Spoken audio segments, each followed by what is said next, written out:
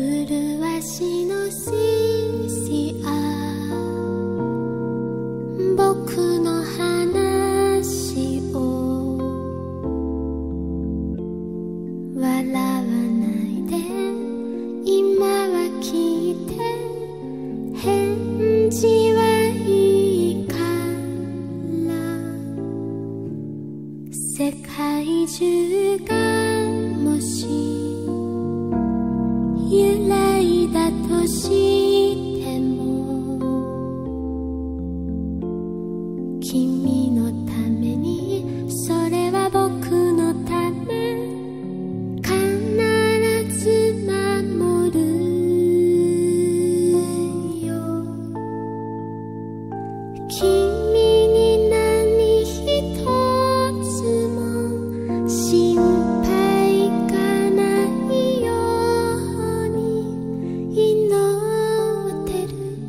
邪魔するものそれに当たれないように。君は横れないで。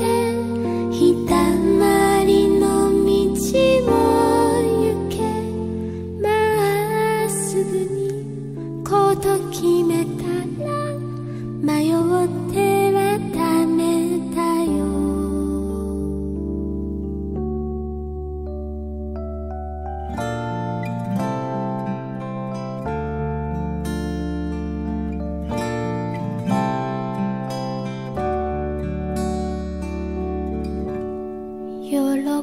び悲しみ。時々話して。